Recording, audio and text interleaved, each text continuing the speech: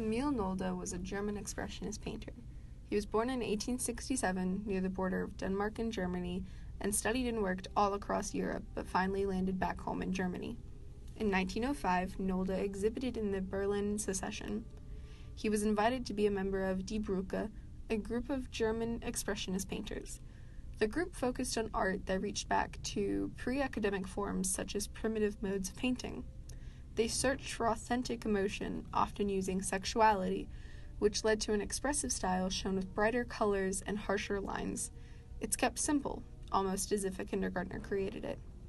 Die Brücke is typically seen as the fountainhead of German Expressionism, being one of the first groups that pushed German modern art onto the international avant garde scene. They developed modern examples of expressive colorists like Van Gogh, Munch, and Matisse, and by using these sharp, clashing colors, they can evoke a particular emotion. Die Brücke's work is extremely recognizable simply based on its content and the technique used in the paintings. It is no mystery as to why they invited Emil Nolde to their group and why he spearheaded the movement with his works and brought German Expressionism so far into the modern world. In the years 1911 and 1912, Emil Nolde ex- executed a large number of sketches in the Berlin Museum für Völkerkunde as preparatory studies for his so called ethnographic still lifes. His decision to visit the Berlin Ethnographic Museum was very common in contemporary avant garde practice.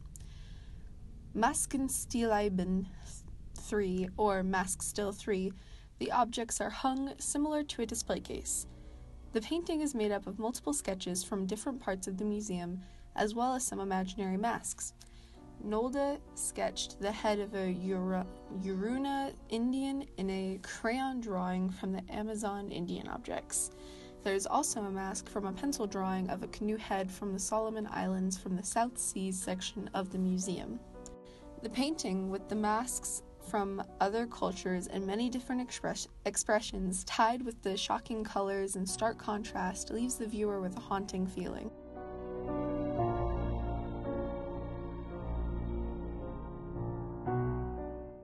Masks currently resides in the Nelson Atkins Museum of Art in Kansas City, Missouri. After calling the museum, being transferred and put on hold a few times, I was finally able to have the pieces provenance emailed to me. Originally, Nolde sold the work to Karl Osthaus in 1911 for the Museum Folkwang, which is now in Essen, Germany. It was then confiscated by the German National, National Socialist government and taken to the Schloss Niederschönhausen in Berlin in 1937. Joseph Goebbels was the head of the Nazi ministry of public enlightenment and propaganda and authorized the confiscation of degenerate works of art from the German public museums. The ministry targeted mostly avant garde modernist works. Those works deemed to have international value were transferred to the Schloss Niederschönhausen to await sale. Masks arrived there in 1938 and was consigned by the Nazi government to Karl Buchholz in 1941, where he consigned it to Buchholz Gallery in New York. The gallery was then renamed Curt Valentin Gallery, who sold it to the Friends of Art in 1954, a board of donors for the Nelson Atkins Museum of Art in Kansas City. It has stayed there ever since.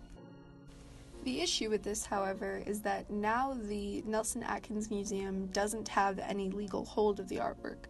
Because of the time period and because the Nazis legalized all of their art theft, at the time this sale would have been recognized, but now we know that the Nazis consigned it and still technically owned it until the Friends of Art purchased it in New York. The original museum, Folkwang, has rightful claim to it. The use of the word consigned proves this, and I believe if the Museum Folkwang wanted it back, they would have a very strong case. Then, of course, things become even more complicated. Nolde's relationship with the Nazi regime has started many difficult conversations and debates within the last few years. For decades, those who enjoyed Nolde's artwork pictured him as one of the degenerate artists who were prohibited to paint by the Nazi regime. This is true, but only because of Nolde's style, not his personal beliefs. He had strived to become the central artist of the Third Reich, claiming his art as true, German, and anti Semitic.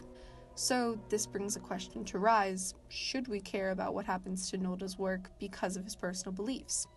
Daniel Richter, an esteemed modern German painter, has an interesting opinion on this subject.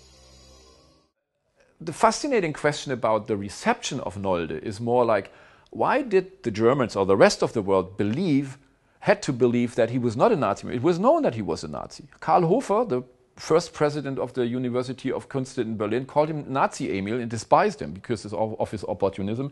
So it, it could have been a known fact, but it never was. Why? Because you could say the German elites and the arts and the people, like, he was representing what the Germans wanted. He was a Nazi member, he was an opportunist, but he was also betrayed. So he had, you know, like he aimed high, but then Hitler was a disappointment. Hitler personally said, no, stop with all that Jewish Bolshevistic Negro painting. It's over. Done. You know? So you could say that was a, a justification, an excuse and it was something that had to do with the collective minds of the Germans in the 40s and 50s, because now they could present somebody who was like them. He makes the beautiful flower paintings, he makes the, he is Entartet, he makes the crazy religious painting. They are extremely German, they are extremely easy to consume, he's excused. So he is a, he's the, you could say he's the prototype of a German. He tried and he got betrayed like all the Germans. They all. From this, we can tell that Nolde's work had a huge impact on the Germans and represented their story extremely well. He represented what they wanted from an artist, and it was easy for them to ignore the fact that he was a member of the Nazi Party. At this time period, as Richter says, almost all of the Germans were as well, or they tried to go along with it. Because of Nolde's significant history with not only his art but also his political beliefs, it's fair to say that his work belongs in Germany. They can better understand its history, not only the artist, but also what his expressionism did for the movement itself in Germany.